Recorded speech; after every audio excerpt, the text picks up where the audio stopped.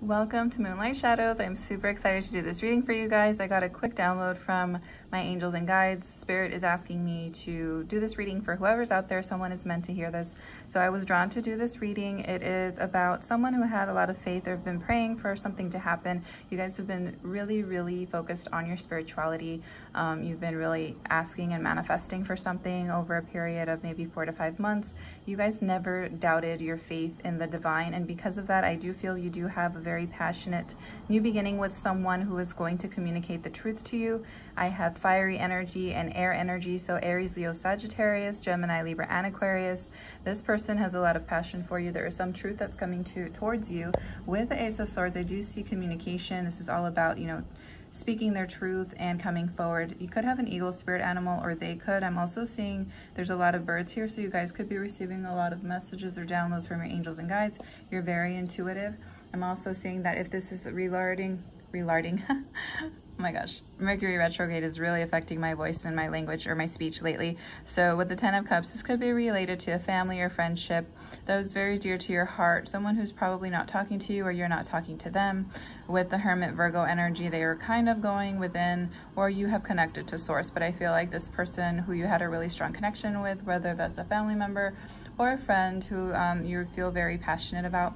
There was some type of an imbalance here with the Two of Coins, but I feel like that's going to be laid to rest with the Four of Swords. You guys are both healing from this situation.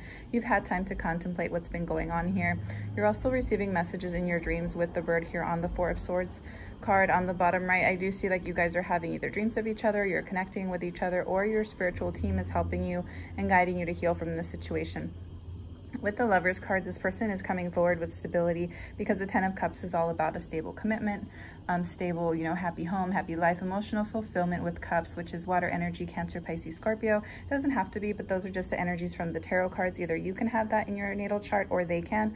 With the Lover's card, this is Gemini energy. I feel like you guys are being reawakened or rekindled to this passionate new beginning with the Ace of Cups. This person really wants to have an abundant, successful reunion and relationship with you. They see you as their divine counterpart and they want to express their true love to you. You might have been waiting for this person to reach out to you maybe over the course of four to five months is what I'm seeing, or it's taken that long for you guys to heal from any type of issues that you could have had in the past or challenges. This person is finally coming towards you.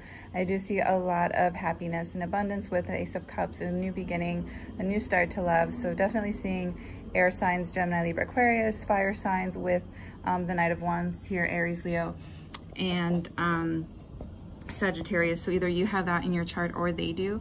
But this person is very passionate and fiery. There's lots of red and oranges. So a lot of sacral chakra, solar plexus energy. Um, you guys have really been manifesting with all of your strength, like with your um, connecting with source, like your your solar plexus, which is where you draw in your divinity and your energy to manifest. You guys are both really passionate about each other. I feel like it's been a long journey with the Hermit card here. If you look at him, he's holding like a walking stick with a crystal.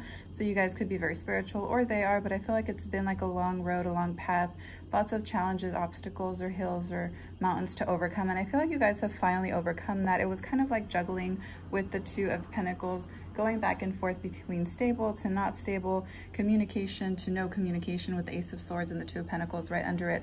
It's almost as though this person would come in and out of your life and you're kind of just waiting to see what's going to happen. But I do see that this person is going to come towards you with the Ten of Cups. I feel like it's finally come to their, um, like, it's come into their, like, intuition, their knowing.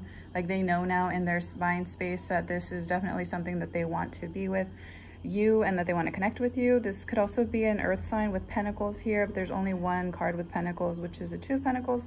So that's Taurus, Virgo, Capricorn. This is collective, so it really could be for any signs out there. I do see a lot of air signs. I do see a lot of fire. And the Ace of Cups is all about emotions, so that's Cancer, Pisces, Scorpio energy. Doesn't have to be, but I know that this person really does love you. And if you've been waiting, I feel like they're finally here and you're finally getting the clarity that you seek because you did not give up your manifestations. So whoever's manifesting, um, you know, rekindling a love or just reuniting with someone who they missed, um, I feel like that reunion is going to happen. You guys are going to reconcile. There is communication coming towards you from someone who maybe could have left you waiting or maybe just wasn't talking to you. 444, as I said that. Um, so you might want to look up that angel number to see what messages your angels, ancestors, and guides have for you. But I do see this person wants to come back. They want to heal or they have been healing whatever imbalances either they have or you have or any imbalance that was within the relationship in general. But with the lovers and cups here with the ace of cups, this is definitely a love offer coming to you. They want to have an abundant, successful relationship with you. They see you as their person and they have finally made the decision to come towards you. So those are the messages for the collective. For whoever is meant to hear this, I send you lots of love and light. If you would like a personal reading, the information is in the description box below.